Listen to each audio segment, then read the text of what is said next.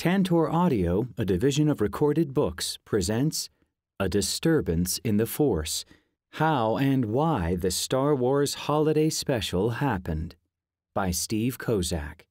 Narrated by Kirby Heyborne. The greatest teacher failure is Yoda, The Last Jedi. The Star Wars Holiday Special sucked so bad, I was amazed that I wasn't in it. Gilbert Gottfried. Preface In the late 1970s, my father Elliot left Bob Hope after several years of producing and running his production company to oversee the TV variety department at one of the top talent agencies of the time, International Creative Management, ICM. Unlike my high school friends who were working in fast food, I soon had the coolest job of all, working after school in the ICM mailroom, where nearly all of their agents' careers had begun. We sorted the mail, washed the boss's cars, and read and synopsized scripts. It sure beat flipping burgers. While delivering the mail, I would pass through the sixth floor offices of music agents like Hal Lazareff, blasting the music of his clients Aerosmith. But even cooler was one floor up, the seventh floor film department. Rounding the first corner office, I dropped off mail for the slick Jack Gilardi, a sweetheart of a man who was then married to Annette Funicello. Gilardi practically created the Hollywood agent stereotype with his expensive Italian suits and gold chains rocking his jet black rock hard pompadour right up until he died in 2019. The next corner office belonged to Sue Mengers, who had not one but two assistants, represented a slew of Hollywood heavyweights Cher, Michael Caine, Steve McQueen, Gene Hackman, Barbra Streisand, and had even been portrayed in several films and TV shows. There was always a bit of a slowdown midway down the next walkway. The hubbub was usually coming from the office of 30 year old Jeff Berg, who at the time was the agency's man of the hour.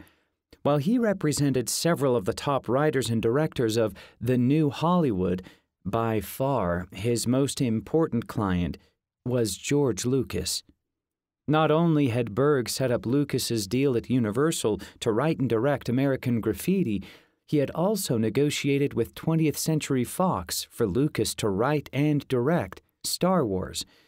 More importantly, after the success of American Graffiti, Berg had renegotiated with the studio for Lucas to retain half of Star Wars merchandising rights, as well as its sequel rights, which would be vital to Lucas if he ever planned on turning this single film into a multi billion dollar franchise.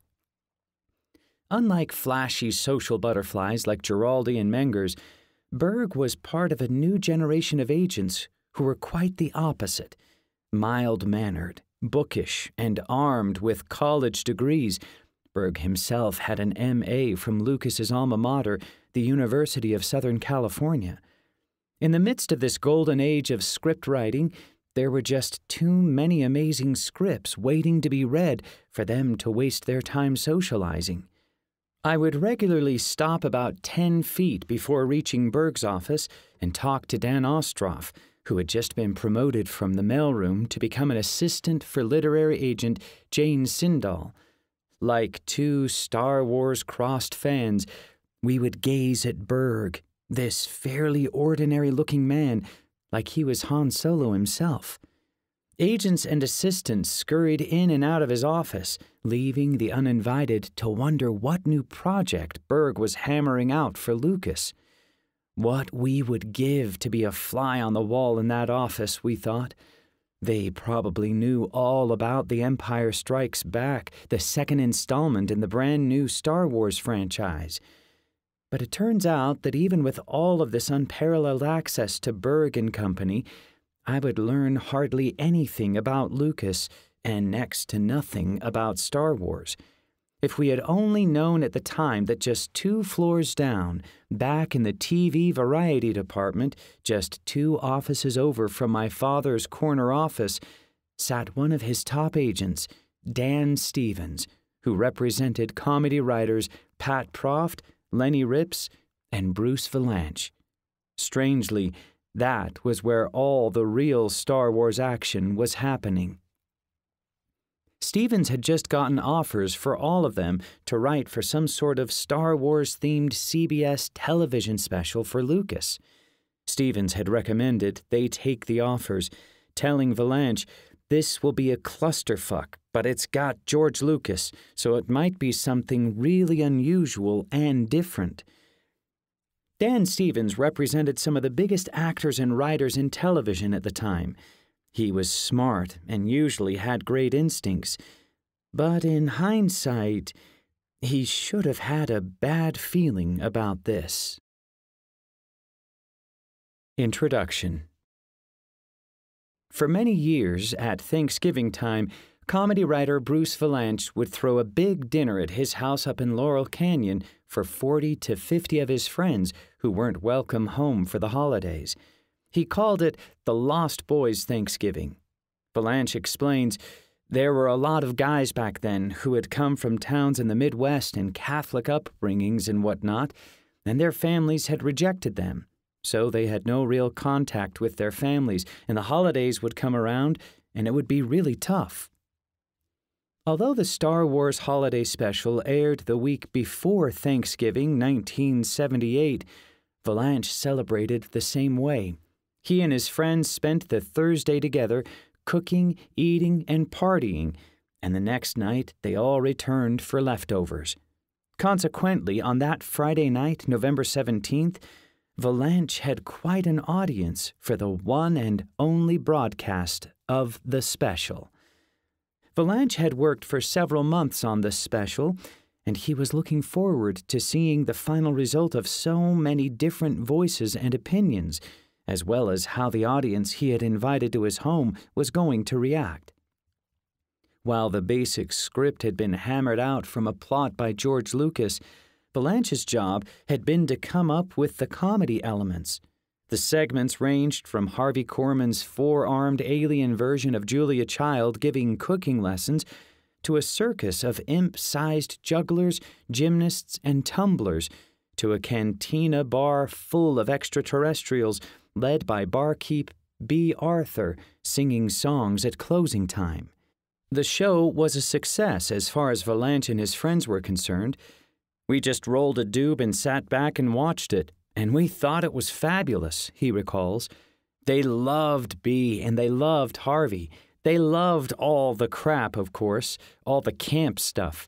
But what wasn't camp in that show? But many weren't laughing at what was supposed to be a galactic sweeps period extravaganza. Up in Northern California, Lucas was likely still stewing over what had happened to his special. He was not happy about it, not proud of it, biographer Dale Pollock says. Star Wars producer Gary Kurtz said that after he and Lucas watched the final cut, it was a bit too late then to do much about it.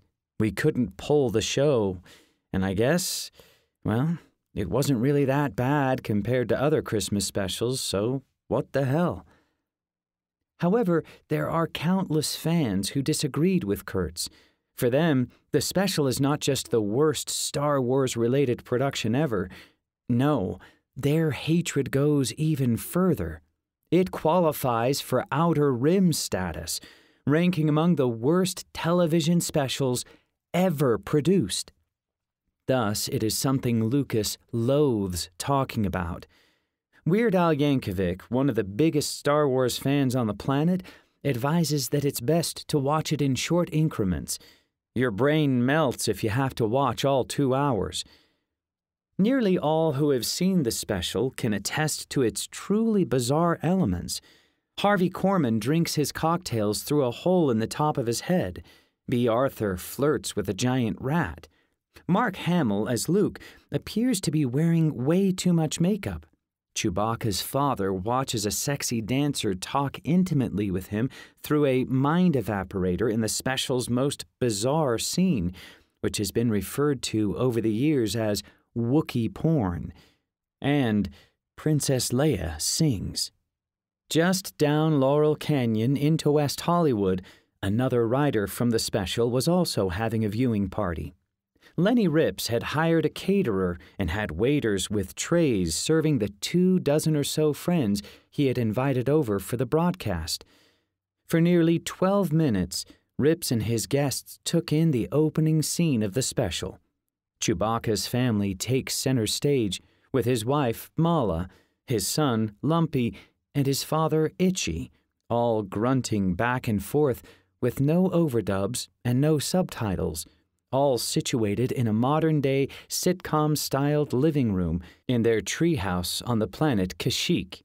It frustrated Ripps tremendously because he, Vilanch, and nearly every producer on the staff had warned Lucas about centering the story around a family of grunting Wookiees. Ripps got up and turned off the television set. Let's eat. As his guests headed toward the food, Ripps sat back, contemplating his fate. CBS would never rerun that horrific show, he thought. In the morning, he would tell his agent to get him a gig, any gig, and fast, before word got out that he was a part of this galactic embarrassment. Luckily for him, most home viewers were not able to record programs off air, not able to print and distribute bootleg versions of such recordings, and certainly not able to share that content with one another digitally. No, he was safe. For now, at least. The two hour special was CBS's attempt at cashing in on the popularity of Star Wars by inviting Lucasfilm to produce a TV version of the film that had recently surpassed Jaws as the highest grossing movie of all time. ABC had experimented with Star Wars on the television show Donnie and Marie, and NBC had booked the infamous cantina scene aliens for the Richard Pryor show. Both had earned massive ratings for their respective networks. Now, CBS wanted its turn. However, that would mean Lucas would have to commingle with a genre that, today, no longer exists. Variety was one of the dominant forms of TV programming from the 1950s through the mid 1980s, filling primetime network schedules with shows hosted by such popular entertainers as Andy Williams, Sonny and Cher, the Smothers Brothers, and Carol Burnett. Now extinct, these variety shows contained an hour or more of various entertainments, including singing, dancing, comedy, and off the wall novelty. But the genre eventually became an embarrassment when too many mediocre talents started hosting their own shows in the 1980s. Variety went the way of disco, stripped from prime-time programming schedules and leaving very little trace of its existence. The special would never be broadcast again. Lucas shelved it, and he has spent most of his adult life trying to keep it buried deep in his closet, deeper even than the remnants of Howard the Duck, more American graffiti, and Jar Jar Binks. For the next two decades, the special would remain perfectly hidden and largely undiscoverable in the lost world of analog technology. Ironically, it would be the same sort of digital technology that Lucas embraced and eventually invested in that would be instrumental in bringing the special to a brand new generation of Star Wars fans. Back in the late 1970s, when the special was initially broadcast, Betamax consumer video recorders had just hit the market, and although there was uncertainty about the legality of recording copyrighted content off air, buyers had already begun doing so. Unfortunately for Lucas, part of that copyrighted content included a few off air recordings of the special that were made available on videotape and traded by Star Wars fans and collectors. By the mid 90s, thanks to the advent of DVD recording technology, Higher quality versions of the special were now being sold at comic book conventions and through mail order ads in the back of science fiction magazines. Its sudden appearance was a major cause of concern for Lucas, who had omitted it from newly released Star Wars collector's editions. He has famously been quoted as saying, If I had the time and a hammer, I would personally smash every one of these bootlegged copies of the special. However, by the turn of the century and the emergence of the internet, Lucas's hammer was too little, too late. With the launch of YouTube in 2005, digital versions of the entire special could now be accessed online and available to all who had been waiting decades to see it. Despite Lucas's best efforts, he was unable to keep his darkest secret away from curious fans to watch, share, and mock. And mock they did. Some who were involved with the special remain reluctant to talk about it, even today. Gene Crow, the special's technical director, is willing only to say that it was a difficult experience. There were a lot of people there that expected it to be something else, and it fell short of those marks. I think that's about as much as I'd like to say about it. Vilanch is not particularly ashamed of the end result explaining it was just one of dozens of projects the specials production company, Smith Hemion Productions, was juggling at the time. The thing of it is, if we would have known 40 years ago that we'd be doing this now, we would have paid closer attention. But it was just another show at the time. From the 1960s through the early 1990s, Smith Hemion was arguably the top TV variety production company in the industry. The go to team the networks brought in to produce specials for such A list acts as Barbra Streisand, Julie Andrews, and Neil Diamond. That this bizarre product was among its hundreds of critically acclaimed shows baffles many to this day. Smith and Hemion were two of the most talented people in the business, recalls Bob Newhart, who worked with Hemion as a director as far back as 1964 on Perry Como's Kraft Music Hall. So the fact that this didn't turn out well is surprising. Even the late Dwight Hemion, who, along with partner Gary Smith, led the production company, described the special afterward as the worst piece of crap he'd ever done.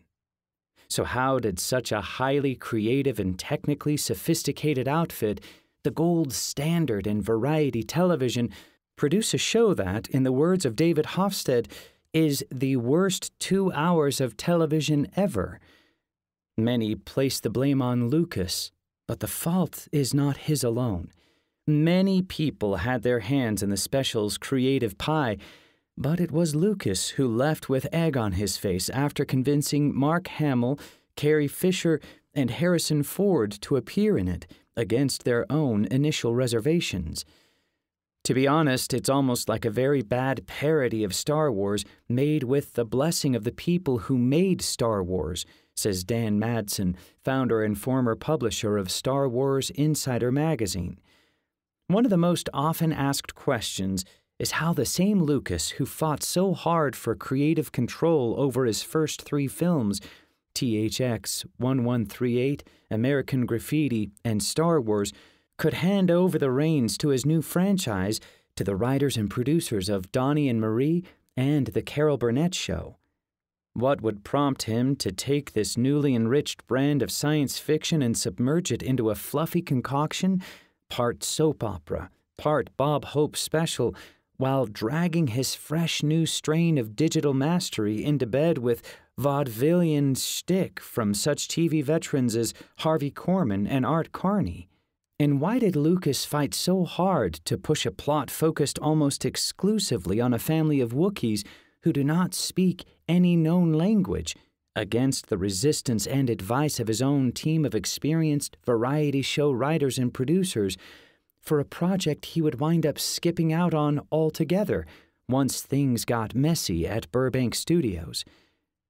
There are several reasons for the special's strange outcome, but among the most notable was a rift that pitted a creative team of TV variety producers and film auteurs against each other, with both sides unable to respect or even recognize the talents of the other resulting in a shoddy, welded together fusion of the worst of both worlds. The idea that Kurtz and Lucas actually compared this special to any of the era's other primetime entertainment means somebody slipped on the fun sticks. Anyone who thinks that this was just another 1970s TV special is terribly mistaken. The bizarre amalgamation of people, places, and things that are part of the story of this two hour show reads like a pop culture puzzle of sorts.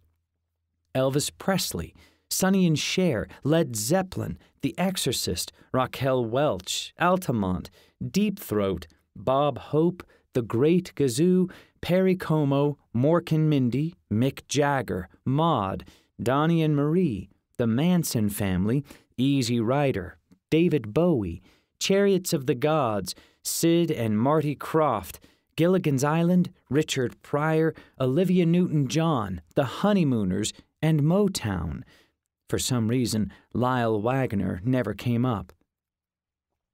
Among the questions that will be answered in this book, was this special a possible precursor for the Wookiees starring in their own sitcom? How did Bing Crosby and David Bowie's remarkable Little Drummer Boy duet help persuade Lucas to test the television waters? Why does a special that was targeted at kids feature a scene with an older Wookiee watching virtual reality porn? What is Life Day? And why are all the Wookiees wearing red robes and walking toward a ball of light that looks like the tail of the Hale Bopp comet? Most importantly, what made Lucas so obsessed with primetime television to pressure Hamill, Ford, Fisher, Anthony Daniels, and Peter Mayhew into dipping their feet in the genre. Many say that Lucas's driving preoccupation with TV stemmed from his paranoia that despite Star Wars being the monstrous hit that it was, he still needed to keep the soon to be franchise alive in the public's minds for the next three years until the release of his much anticipated sequel, The Empire Strikes Back. Others contend that the TV appearances were intended to sustain interest until the following holiday season, when a tidal wave of delayed Star Wars toys and other merchandise would finally be available in stores. While these are both valid reasons, the true impetus for the special that I'll put forth here is spite. Although no actual blood would be shed in its making, Lucas's relentless desire to keep Star Wars prospering in theaters for as long as possible was a way to strike back at one of the non believers from his not so distant past. For the first time, it is revealed here that a major rival studio chief was a tremendous adversary of Lucas's. Their long-time feud began in 1971 and lasted through and beyond the release of Star Wars six years later. It would be pure ego that made Lucas double down on extending the theatrical life of Star Wars by pushing Lucasfilm's marketing maven, Charles Lippincott, to go on a revenge fueled PR blitz, booking the film's stars and characters on a dozen different talk and TV variety shows. That holiday season, Mark Hamill would even appear on a campy Bob Hope Christmas special. Perhaps Hope's producers made producing a holiday special look easier than it was. To appreciate the most unique and misunderstood endeavor in the Star Wars universe, one must understand the true origins of the special, why it was conceived, how it was produced, and, more importantly, why, after its initial broadcast, Lucas tried so hard to keep it hidden from current and future generations. True, the holiday special is in a class of its own. Nonetheless, is it fair to compare anything from that time period and shot on inexpensive recyclable videotape with the digitally fortified content streaming in high definition today? Further, how much worse is this special than other TV specials of the era, like NBC's Kiss Meets the Phantom of the Park or ABC's Paul Lynde Halloween special? Where does the Carpenters' Space Encounters musical special rank? Or how about Ringo, featuring the former Beatle playing his alter ego Ognir Rats? And why in the latter special does Carrie Fisher get minced alive for singing when, several months before, she sang an equally mediocre version of You're 16 with Starr? To understand Lucas's decision to do this special, one must also look at the brilliant but naive Lucasfilm team who were doing their best to navigate through thousands of opportunities offered to them in the three years between A New Hope and The Empire Strikes Back. Filmmaker Kyle Newman sympathizes with Lucas over the brand new position he was in, with countless offers pouring through his front door. It's probably hard to say no to the volume of things he was offered, Newman says. It's never happened before, that type of explosion. How do you know the dangers of saying yes to too many things? You don't. It's not like there were Burger King cups for Gone with the Wind. This is something that never happened before, and we can't fault him for being a visionary, a purveyor. To have other brands come at you and opportunities on television, you're going to seize them. And at that point in history, seize them he did. It was a period of civil wars, as Lucas once wrote via Brian De Palma in A New Hope's opening crawl. To understand the making of this unique TV special, as well as Lucas's conflicts with those who had power and wielded it unfairly, and how they subsequently influenced his filmmaking and business acumen, one must go way back to before Star Wars was even conceived, a long time ago in a galaxy far, far away. Chapter 1 not a plan in sight. August 1973. Alan Ladd Jr., a production executive at 20th Century Fox, had been an admirer of George Lucas since his 1971 film debut with Warner Brothers, the critically acclaimed but commercially unsuccessful THX 1138. It looked to Ladd that the boy wonder had finally struck gold. Laddie, as he was known by his friends and colleagues, was excited by the glowing reviews and hefty box office earnings Universal Pictures American Graffiti had just gotten in its opening weekend. He was glowing, a signature away from completing a deal memo between Lucas and 20th Century Fox to produce and distribute Lucas's next film, which at the time was titled The Star Wars. Lucas and Ladd had a mutual respect for each other.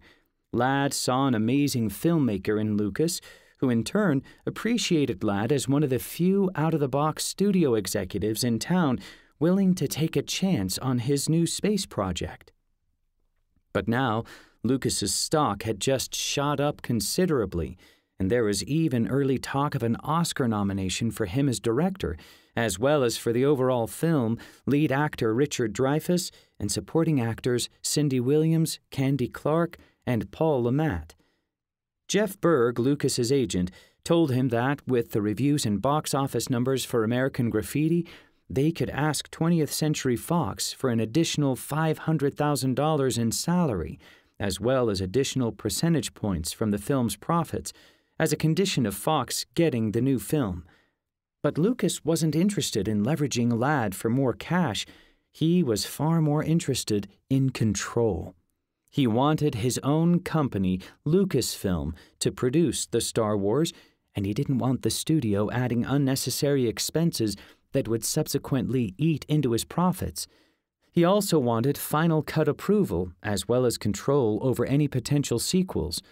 Lastly, he wanted to retain all of the film's merchandising rights.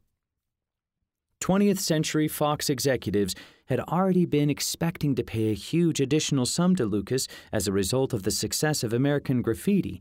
So, when they heard Lucas's non cash option, they thought they had won the battle. They probably couldn't believe a filmmaker would sacrifice so much cash to retain something like a portion of a film's merchandising rights.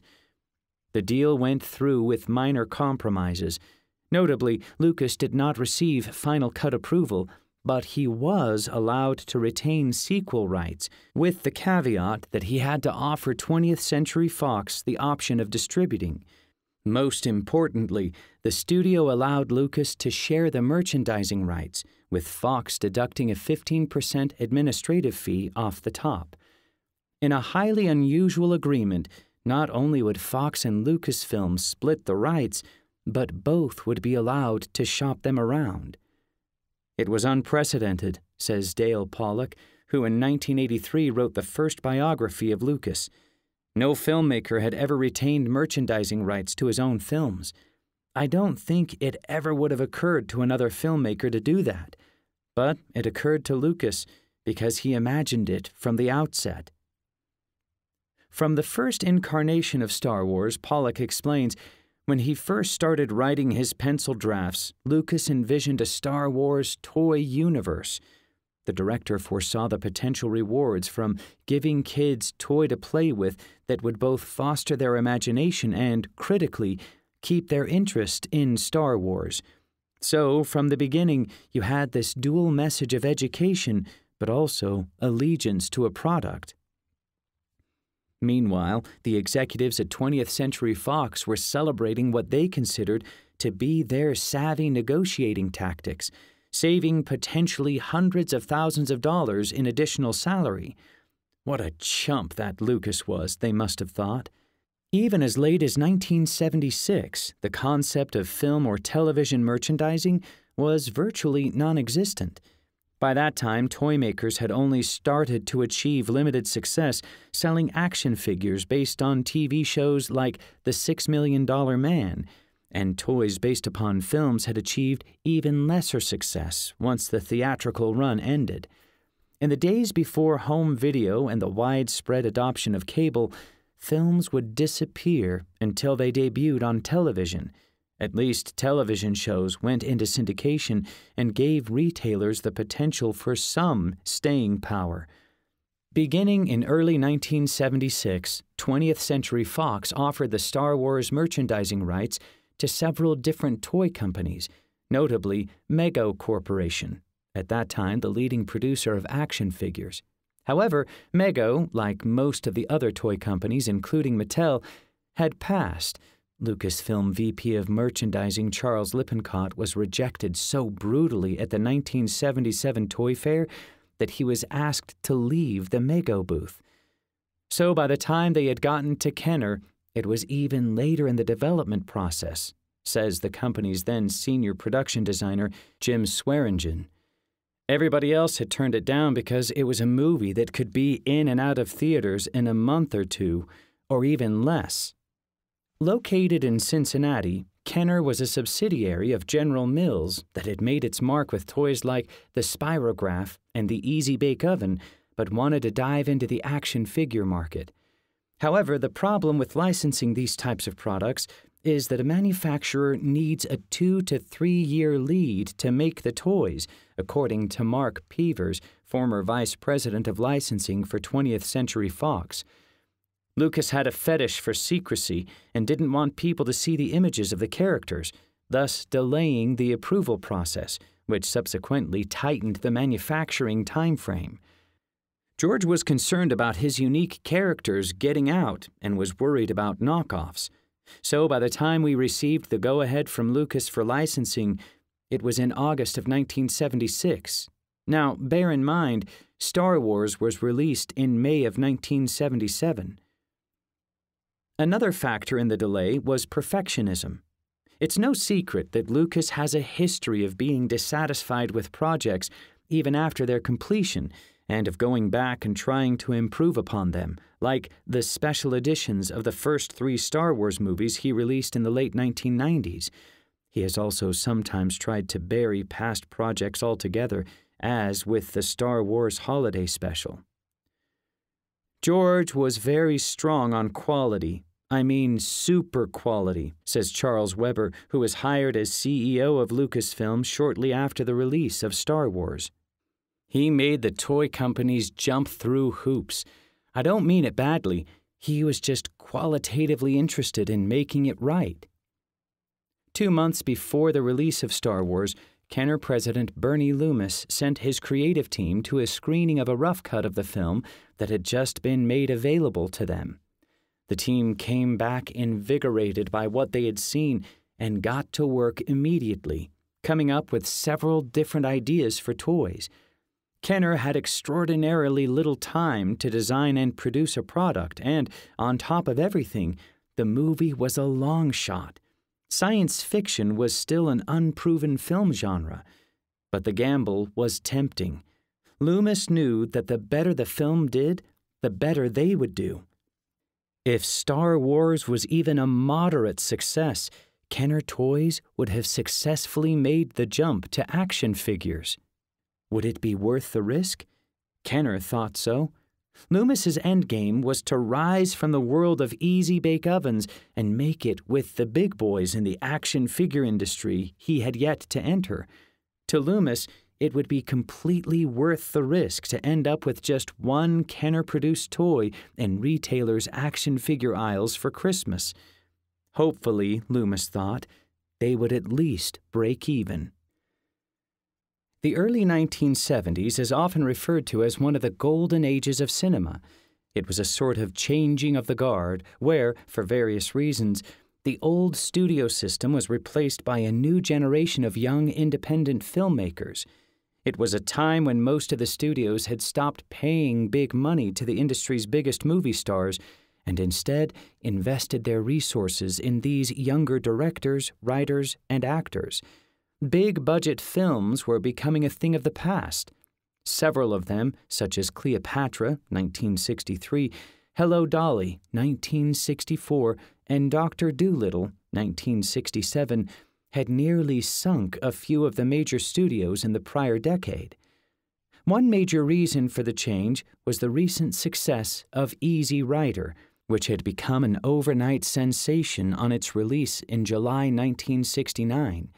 From a budget of a little over a half million dollars, the Dennis Hopper directed film would eventually gross $60 million worldwide, which made the studios begin to rethink their bottom lines. Another reason was simple mathematics. It had been about 60 years since the studios had started, and that crop of filmmakers who were in their 20s and 30s back then were now reaching retirement age, opening up new opportunities. The studios were being bought up by corporations, Lucas explained. The corporations didn't have any idea how to run a studio, so they were hiring film students. All of us, this whole group that I was a part of, got ushered into the film business because the studios didn't know what they were doing.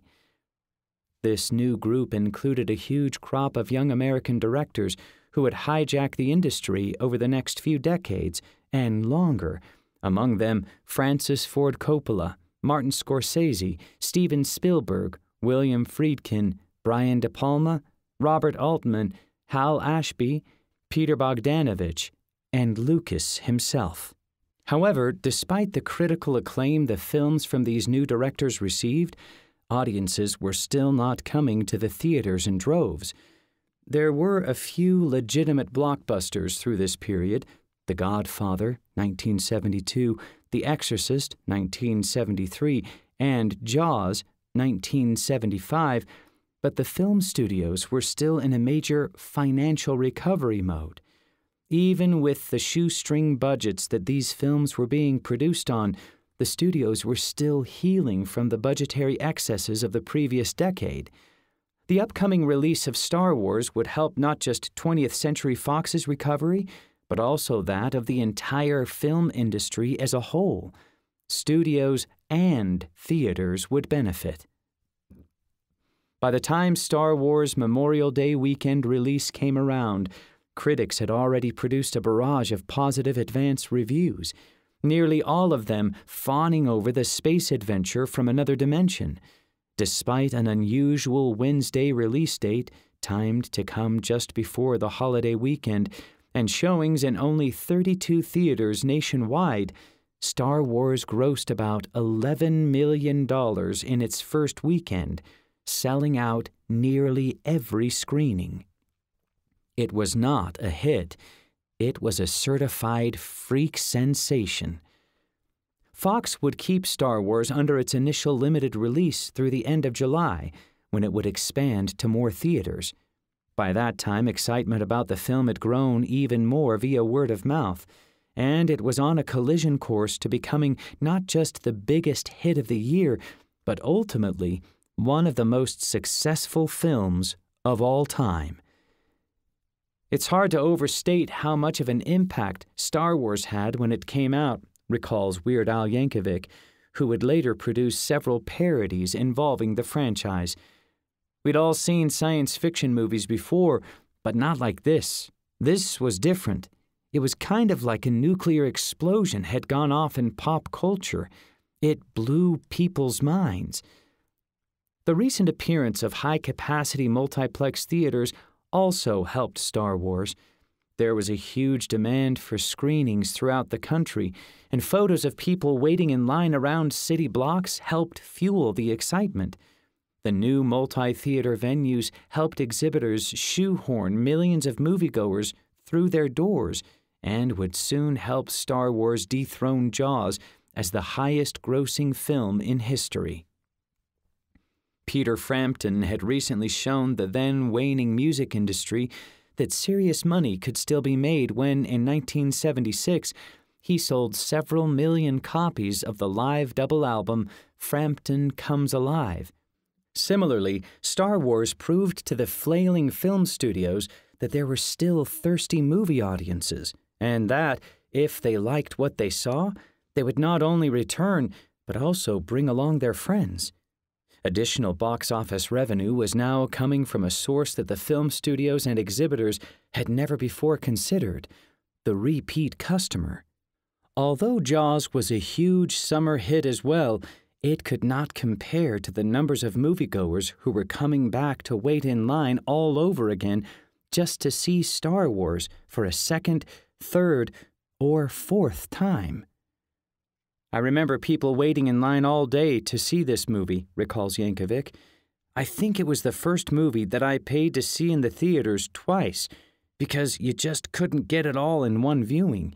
You had to see it multiple times. However, toy stores were not as lucky as the multiplexes. Their shelves were still void of any Star Wars merchandise, and Kenner was completely unprepared for the film's unprecedented success. Parents were scrambling to find Star Wars toys as Kenner went into overdrive trying to expedite the arrival of any merchandise ahead of the upcoming holiday season. As a store owner, you're always protecting yourself from being in that situation, says Larry Ross, owner of Blast from the Past, one of the world's largest film and TV collectible stores. Not being able to meet the demand is a store owner's worst nightmare. Most stores began their holiday merchandising in the fall, so Kenner was seemingly out of luck for the 1977 season. That Christmas, every kid in America wanted a Star Wars toy, but they had nothing to sell, says Ross. However, one of Kenner's marketing executives came up with what Ross calls a pretty darn brilliant idea to meet the demand. It was called the Early Bird Certificate Special. Ross and many Star Wars fans refer to it as the empty box. It was just that an empty box, but it worked, Ross says. Parents could pay $14 for a certificate that could be redeemed for four Star Wars action figures of their choice, which would arrive the following spring. This pre order solution would still give Kenner only six months to deliver the product so the company went into hyperdrive to meet that deadline. But at least parents had something they could put under the tree that year. The concept worked brilliantly, and by spring 1978, Kenner's Star Wars toys were delivered as promised, accounting for a staggering $100 million in sales. But the point of the action figures had not been simply to generate merchandising revenue, they were used to extend the Star Wars merchandising appetite through to the following holiday season, when Kenner would be caught up and ready to line toy stores' shelves with an even wider selection of products. How could Star Wars be kept fresh in the minds of its fans through the 1978 holiday season? Lucas and his colleagues would soon come up with a solution. At the time, it must have seemed like an entirely sensible one. Chapter 2 The Secret Weapon. November 1975.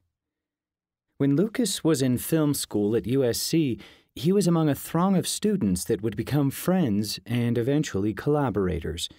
They called themselves the Dirty Dozen after the 1967 film about a group of Nazi hunters in World War II, although Lucas actually preferred the USC Mafia.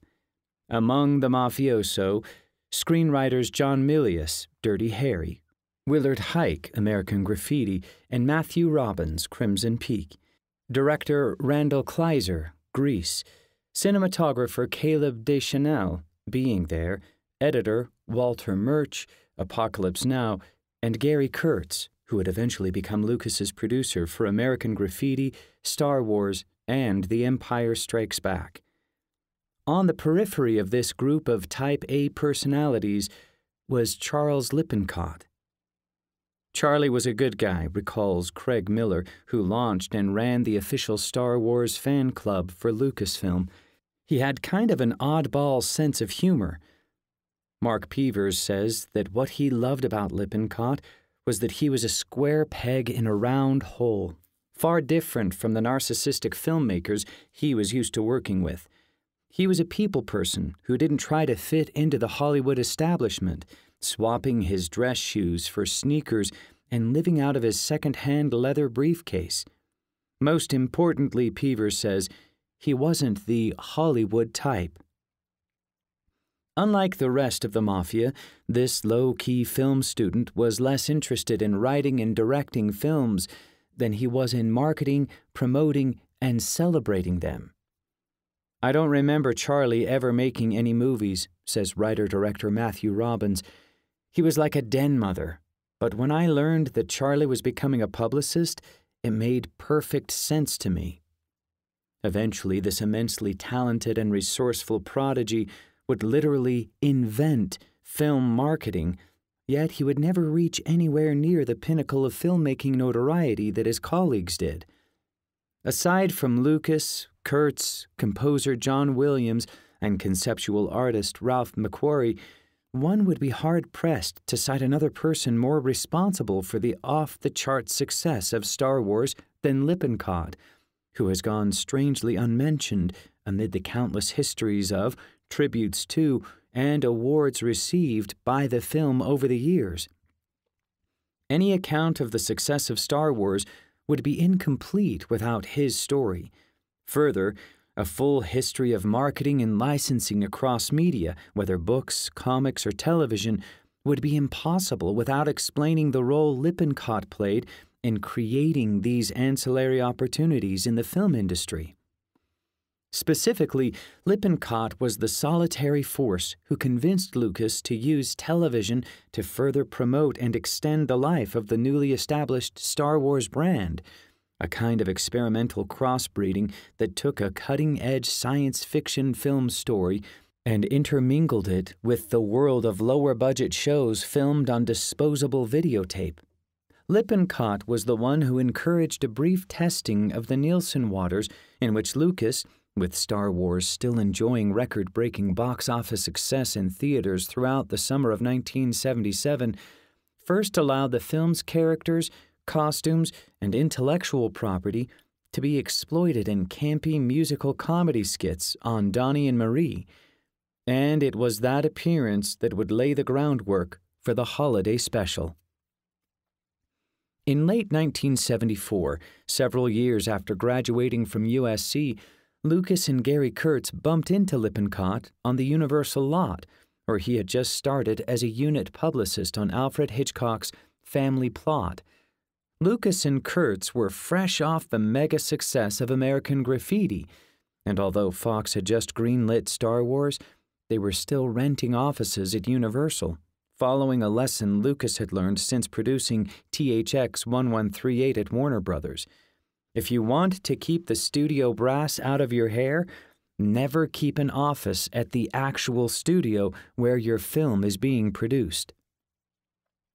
We chatted, Lippincott recalled in a 2015 interview, and they told me about this new picture they were working on called The Star Wars. Lucas offered him a script to read over the weekend, and when they spoke on Monday, Lippincott couldn't contain his enthusiasm. He told Lucas he thought they had a great project on their hands, and the two discussed all of the film's marketing possibilities, including toys that would be sold in comic book stores. I was very excited because I'm a true fanboy, a die-hard science fiction fan and comic book collector, Lippincott recalled. He was such a fanboy, in fact, that he was willing to leave Alfred Hitchcock to work on Lucas's film. To harness Lippincott's enthusiasm, Lucas urged Fox to hire him. Fox insisted they already had a marketing department, but after some back and forth, they finally gave in and hired Lippincott at a minimal rate to market Star Wars, as well as several of the studio's other films.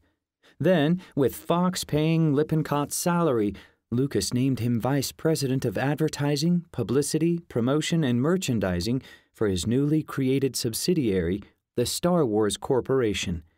It was quite a win for Lucas. Lippincott would end up spending little time, if any, on Fox's other films, and thus Fox was, in effect, paying him to work exclusively on marketing Star Wars. After all, Lucas was going to need all the help he could get to encourage audiences to see a film in a relatively unproven genre. Word of mouth only works if there are people in the theater in the first week or two to see the film. Only then can they start talking about it. Even if a film got great reviews, in 1977, theater owners still relied on movie stars to bring people in, and other than Alec Guinness and Peter Cushing, who had supporting roles as Obi Wan Kenobi and Grand Moff Tarkin, respectively, there were no stars in Star Wars. They were all newcomers, none of them big enough names to get booked on programs like The Tonight Show to promote the film. There simply wasn't a good hook for marketing science fiction, so Lippincott came up with the idea of marketing Star Wars directly to fans. To do this, Lippincott went directly to his wheelhouse. An avid fan of both comic books and science fiction films, he was very familiar with the market, and he planned to promote Star Wars almost a year before its release date at conventions all over the country. My thinking was that we should sell to the science fiction and comic book crowd early on, he said in a 2011 interview. Why not tailor a campaign and build off of that? Do a novelization and comic book adaptation early. Although mega conventions like Comic Con existed in 1977, they had not nearly begun to attract the tens of thousands they pull in today. However, the smaller conventions Lippincott was targeting were still a great way to get the niche film and comic book fans committed to seeing Star Wars during its first week. These days, building a brand before a film's release is practically marketing 101. Propelled by social media, today's film marketers create campaigns that begin several months or even a year before a film's release. Back when Star Wars was still being developed at Fox, however, the term film marketing didn't even exist. In 1975, Lippincott invented it.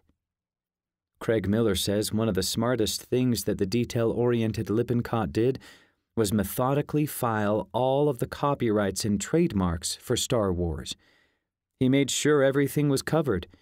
Most importantly, Lippincott trademarked the names of the characters, as he was well aware of the countless legal issues that had befallen Paramount after the studio had not secured copyrights on every element of Star Trek. This looseness with the Star Trek brand's ownership created a void where fans began to use the franchise's characters and ideas in their own works. To prevent this, I copyrighted everything I could think of, Lippincott later recalled. If it was possible to copyright a paperclip, I would have. Folks at Fox thought I was crazy. In November 1975, 18 months before the film's release, Lippincott made plans to sell the novelization of Lucas's original screenplay. The novel would be called Star Wars, and although it would actually be written by Alan Dean Foster, who had written a few movie and TV novelizations, the book would be credited to Lucas. Some of the folks at Lucasfilm wanted to create a bidding war for it, but Lippincott wasn't interested in selling the rights for the largest possible amount. He felt it was much more valuable marketing wise to have the novel published by the top science fiction publisher of the time, Ballantine Books, which had released Ray Bradbury's Fahrenheit 451 and J.R.R. Tolkien's Lord of the Rings. Lippincott eventually negotiated a reasonable financial offer from Ballantine, who, more importantly, agreed to his extraordinary requirement that it publish the novel nine months before the film's release. Soon after, Lippincott began negotiating with Marvel to produce a Star Wars comic book.